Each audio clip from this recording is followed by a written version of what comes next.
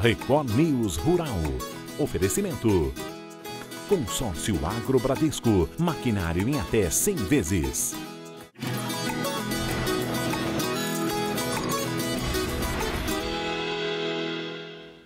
Oi, bom dia para você.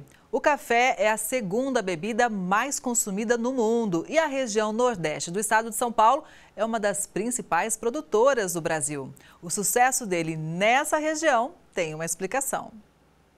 Na casa da dona Maria José, o dia não começa sem ele. É todo dia. E aí levanta ali, já a primeira coisa que faz é correr é fazer um cafezinho. Café. Se não tiver o café, eu não, não não consegue seguir as tarefas do dia. Hein? Mais, não sei fazer mais nada, não sei o café. Já para o Tadeu, a paixão pelo café foi tão grande que até virou profissão. Hoje, o barista procura pelos melhores cafés mundo afora e por métodos exóticos de preparar a bebida. O processo aqui é todo físico-químico. Eu gosto dele porque ele é muito científico. Então, o fogo aquece a base do globinho aqui embaixo, ele empurra a água, o vapor empurra a água para cima. Tá vendo? Ela já está subindo aqui. Eu vou jogar o café agora. Ela vai ficar em contato com o café aqui em cima por alguns minutos.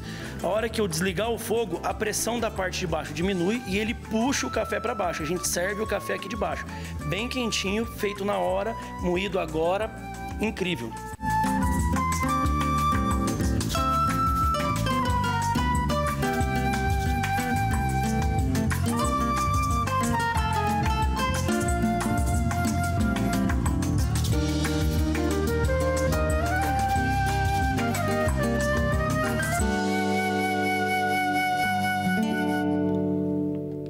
Alguns tripés básicos. A primeira coisa é escolher um bom café. A nossa região é rica em cafés de alta qualidade que vem direto do produtor.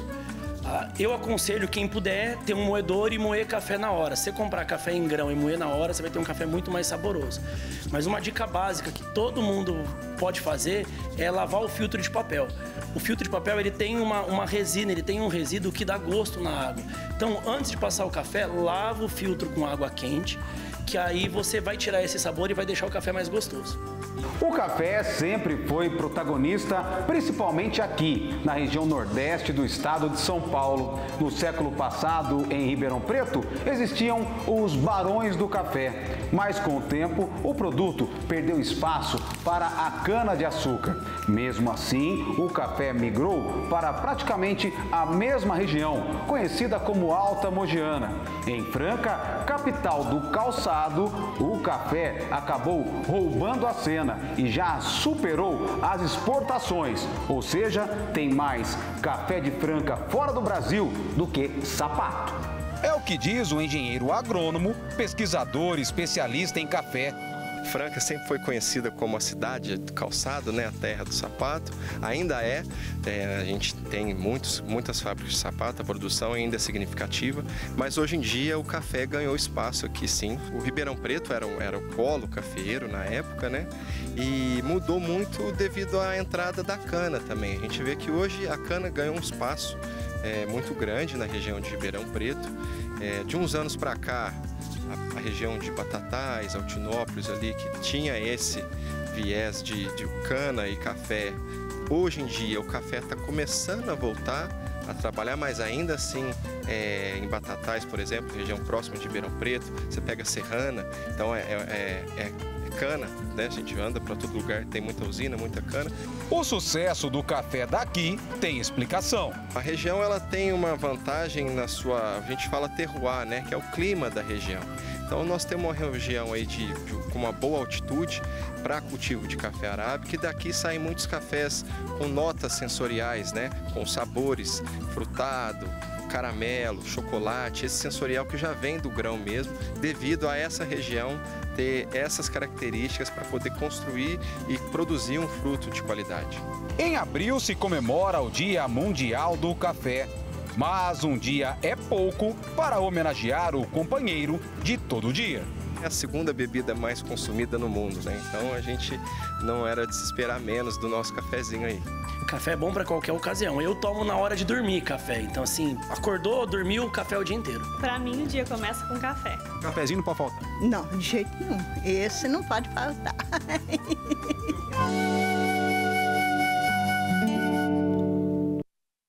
Não pode faltar mesmo, viu? E falando em café, os preços do Arábica dispararam no mercado brasileiro em abril. O impulso vem da forte valorização do café robusto, influenciada por preocupações em relação à oferta global do grão, segundo pesquisadores do CPEA. Até o dia 22 de abril, o indicador da Arábica acumulava alta de 24%. Na última quarta-feira, este indicador atingiu, inclusive, o maior valor real desde fevereiro de 2022, ao fechar em R$ 1.342,17 a saca de 60 quilos.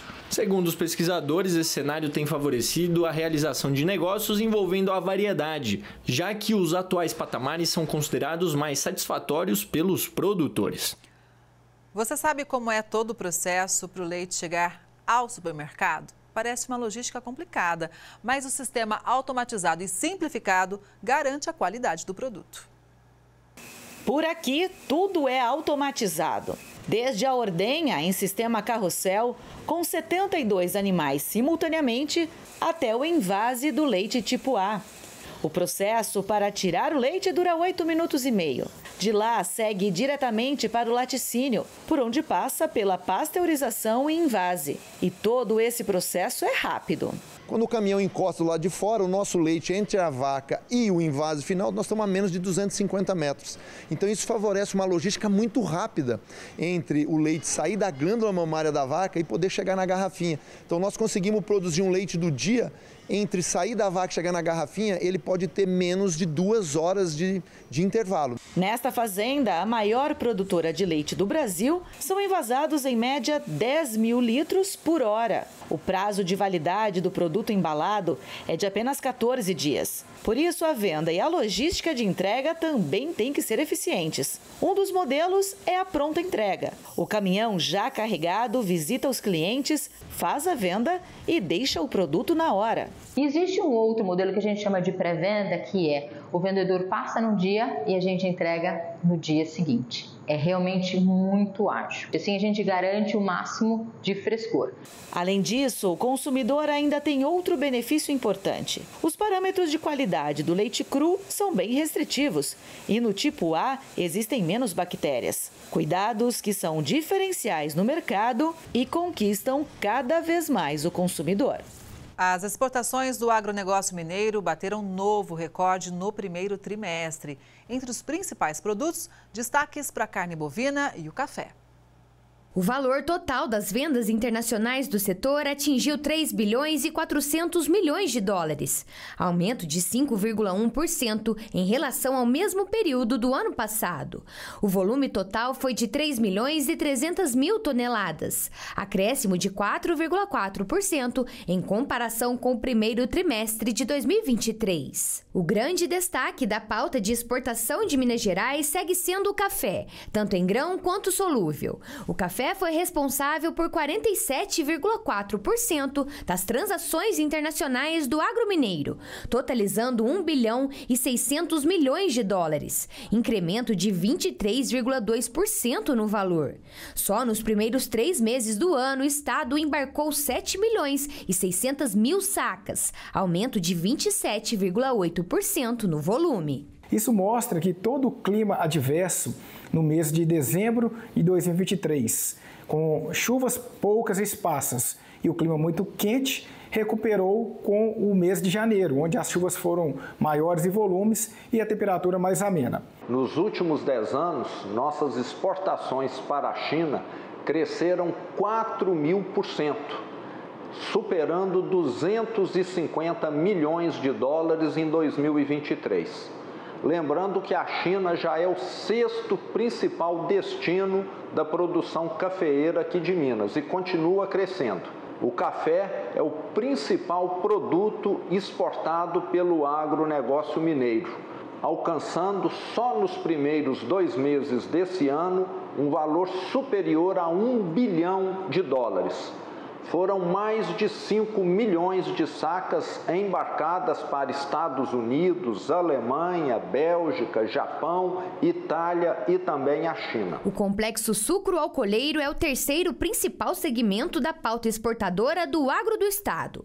O açúcar foi o item que puxou a alta, com 921 mil toneladas. Foram 484 milhões de dólares em exportação. Isso equivale a 80% a mais na questão do volume, do valor, comparado ao ano passado. Já em questões de volumes, foram 63% superior também, mostrando que o complexo sucrocoleiro cada vez mais está forte nas exportações mineiras. As carnes também tiveram um bom desempenho, com um total de 313 milhões de dólares e 100 mil toneladas exportadas, representando 9% das vendas do agronegócio. Destaque para a carne bovina, com aumento de 18% no valor e 30% no volume, totalizando 226 milhões de dólares e 52 mil toneladas exportadas. Os principais destinos das exportações mineiras de produtos agropecuários foram a China, com 794 milhões de dólares, os Estados Unidos, com 406 milhões, a Alemanha, com 270 milhões, a Bélgica, com 172 milhões e a Itália, com 156 milhões. Os dados são do Ministério do Desenvolvimento, Indústria, Comércio e Serviços. Os produtos agropecuários representam 36% das vendas de Minas Gerais para o mundo. E para os próximos meses, as expectativas são altas, com uma previsão de avanço nas exportações de café, carne bovina e açúcar, além de uma recuperação no desempenho no preço das commodities. A Secretaria de Agricultura de Minas Gerais vem fazendo algumas ações em relação ao café, principalmente com o Certifica Minas, que é um trabalho que avalia desde o plantio até o pós-colheita do café, gerando emprego, renda, agregando valor ao produto. Isso também mostra que a governança na produção de café ela é muito grande e para os produtores que participam, isso mostra uma evolução muito grande no seu dia a dia. Já em relação ao complexo sucroalcooleiro, a gente destaca a descarbonização da economia, porque a produção de álcool é, reduz bastante a necessidade de combustíveis fósseis. Com isso, a gente tem uma economia mais limpa e descarbonizada, sendo Minas um grande destaque do Brasil. O preço das alfaces subiu. É que as condições climáticas estão impulsionando as cotações. As elevadas temperaturas, amplitudes térmicas e chuvas em excesso têm prejudicado as lavouras e a produção de alfaces no cinturão verde paulista. Com pouca oferta e baixa qualidade, as cotações das hortaliças foram impulsionadas. Em Ibiúna, São Paulo, por exemplo, na parcial de abril até o dia 19, os valores da Crespo aumentaram 47,4% frente à média de abril do ano passado. Em Teresópolis, no Rio de Janeiro, o cenário foi ainda pior. O excesso de chuvas em março não só prejudicou o volume que estava sendo colhido naquele momento, como também dificultou o plantio, o que reduziu ainda mais a oferta de abril. Na Praça Fluminense, os preços também subiram e o preço da caixa da Americana com 12 pés na parcial de abril é de 78,9% superior ao mesmo mês de 2023. O Record News Rural de hoje vai ficando por aqui. Muito obrigada pela sua audiência e, claro, eu espero você no próximo programa, hein? Até lá!